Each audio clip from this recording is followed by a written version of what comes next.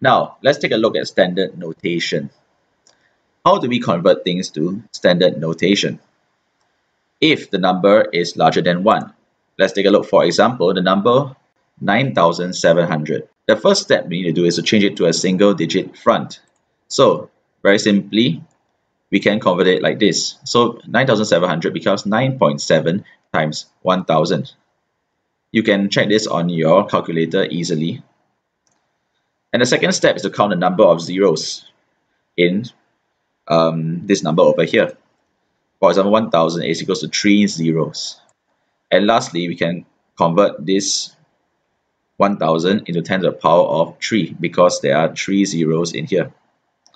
Okay, so finally we can combine it together for the answer which is 9700 is equals to 9.7 times 10 to the power of 3. Now, how do we convert to standard notation for numbers that are smaller than 1? For example, 0 0.000 something. Okay, let's, like, let's take a look at the example here, which is the number 0 0.063. Okay, the first step will be to change it to a single digit front. Um, yeah, so 0 0.063 will be 6.3. This is single digit and yeah, single digit front lah.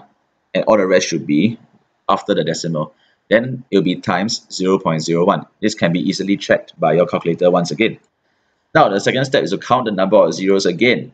Okay, so 0 0.01 has 1, 2. It has two zeros. You should count both of them okay you should count all zeros including the one before the decimal and we convert this into the proper number over here okay which is 0 0.01 is equals to 10 to the power of minus 2 now the third step is we can combine it together for the final answer which is 0 0.063 equals to 6.3 times 10 to the power of minus 2